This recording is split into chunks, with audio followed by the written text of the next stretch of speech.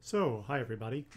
Uh, I wanted to look at um, one of the homework problems from the section on index sets, uh, section 1.8, because um, it's a little tricky and I think it also illustrates some of the um, interesting aspects of the different ways in which you can use sets in a problem.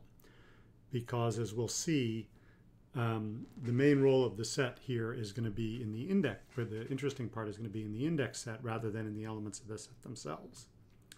So uh, let's see where this gets us. So here's the problem.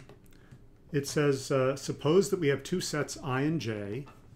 j is non-empty, and j is contained in i. j is a subset of i.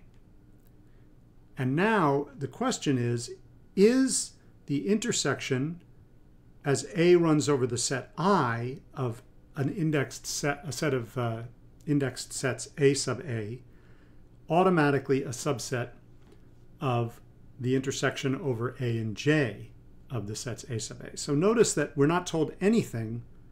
We know nothing about the sets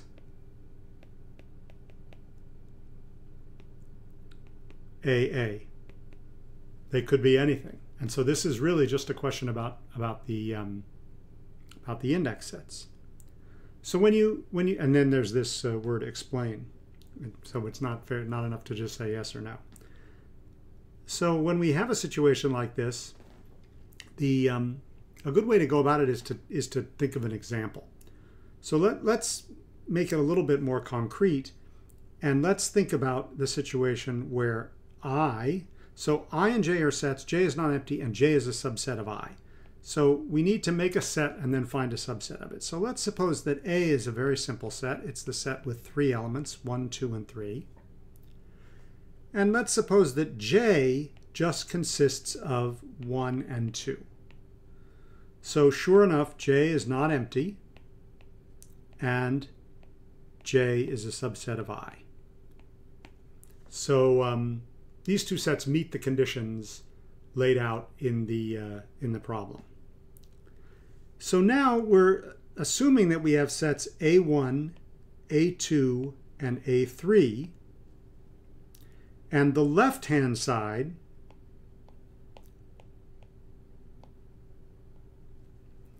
is the intersection over A in I of A sub A. And that means, because we know what this means, it means A1 intersect A2 intersect A3. Because that's what this symbol means. It means take all the sets corresponding to A's in the set I, that's 1, 2, and 3, and intersect them all together. The intersection for A and J of A sub A is just A1 intersect A2. And the question is, in this particular case,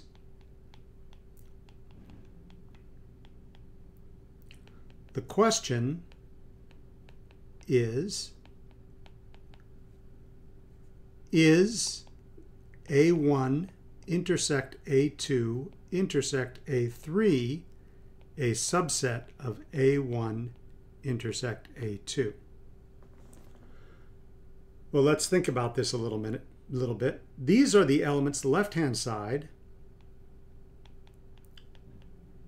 is the collection of x's, so that x is in A1 and x is in A2 and x is in A3. And the right-hand side is the collection of x's so that x is in A1 and x is in A2.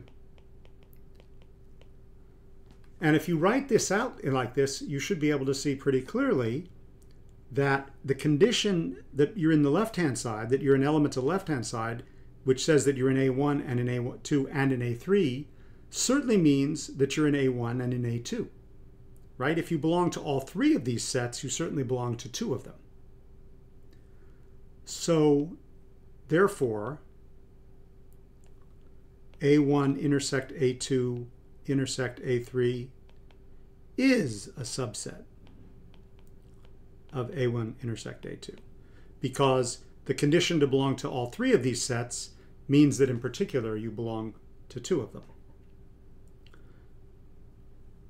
So what about, I mean, we could work out another example.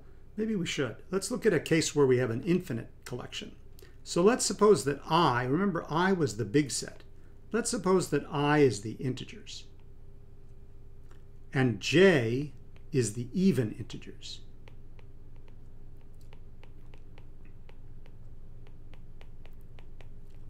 So both of these sets have infinitely many elements, and J is in fact a subset of I.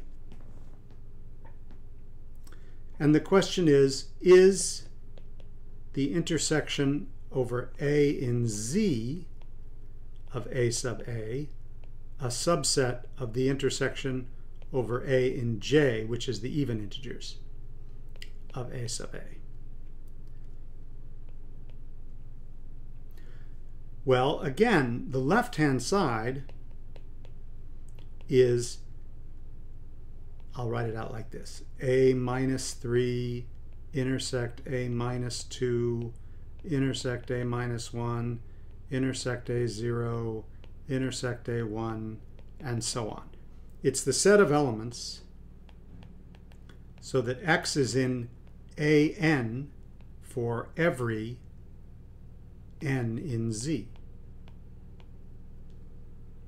And the right-hand side is a minus 4 intersect a minus 2 intersect a 0 intersect a 2 intersect a 4 it's the collection of x so that x is in a n for every even n in z. And once again, if you are in an for every n in z, you're certainly in every an for every even n in z. Belonging to every an for n in z forces you to belong to every an for n in z and n even. So one way you can think about this is that there's a collection of tests. If you want to decide if A belongs to this intersection, you have to ask, well, is, is A in A minus 4? Is A in A minus 3? Is A in A minus 2? Is A in A minus 1? Infinitely many often for all the integers. So there's like all the tests here correspond to the integers. On the right-hand side, Again, there's infinitely many tests, but they only correspond to the even integers. If you pass the test for all integers, you're certainly going to pass the test for all even integers. And that's why this side is a subset of that side.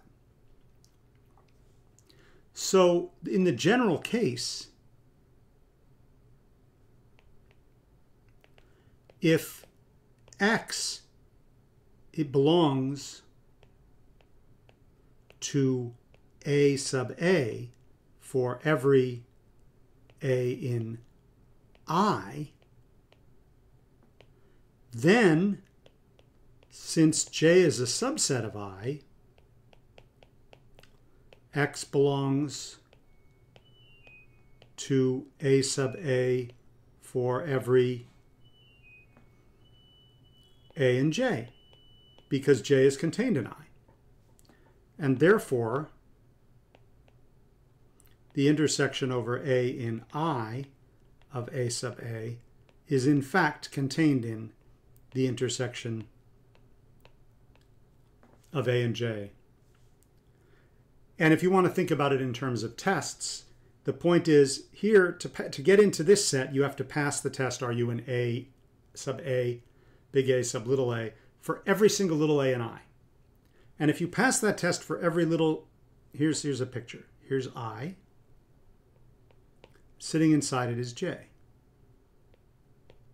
If you pass the test for every single element of I, then in particular you pass the test for every single element of J. And therefore, if you, if you pass the tests to get into this set, you automatically pass the tests to get into that set. So I hope uh, that helps clear that up. As always, if you have any questions or if this uh, needs more clarification, I'll look for you on Piazza.